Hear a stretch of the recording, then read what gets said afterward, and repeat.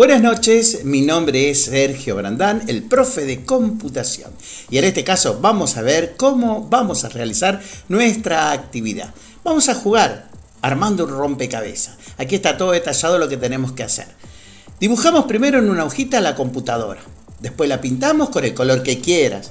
Después agarramos una tejerita y empezamos a recortar en seis partes. Pueden ser iguales o no.